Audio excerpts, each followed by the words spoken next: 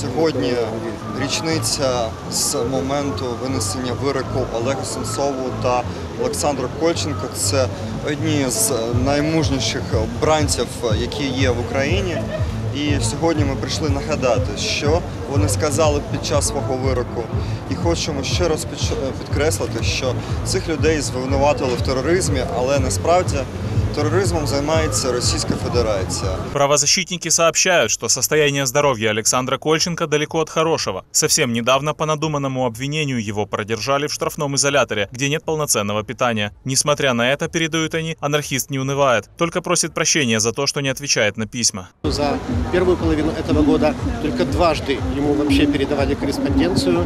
Есть ощущение, что их пытаются, его в частности, пытаются отрезать от окружающего мира. С другой стороны, в ответ на вопрос, удается ли ему, к примеру, читать, а мы знаем, что он очень много читает, а, он привел список книг, которые прочитал за последние месяцы, и, надо сказать, это впечатляюще. Недавно стало известно, что Олег Сенцов выступил против своего освобождения любой ценой. В письме сестре он заявляет, что не хочет тянуть одеяло на себя, чтобы стать более известным политзаключенным, но мог бы стать оружием Украины против врага. Правозащитники назвали этот поступок глубоким и сильным. Они также напомнили, что не следует забывать о прочих политузниках, даже тех, кто был сломлен давлением российских спецслужб. По мнению адвоката Ильи Новикова, его подзащитного Алексея Черния, проходящего по делу Сенцова и Кольченко, уже хотят приобщить к даче показаний по делу так называемых крымских диверсантов. Именно поэтому необходимо бороться за освобождение всех, подчеркнул адвокат. Всю цю групу треба обговорювати, треба наполягати на їх звільненні а, в Тому самому пакеті.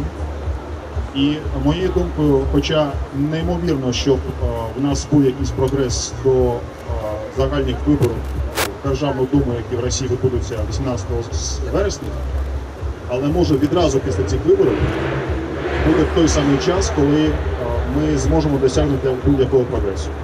Участники акции огласили символические приговоры Путину, Поклонской, Бортникову, Корсакову и прочим пособникам оккупации частей Украины и пленения ее граждан. Их рты заклеили табличками с подписью «Виновен», а после включили запись гимна Украины, спетого Сенцовым и Кольченко в российском судилище. Україні, слава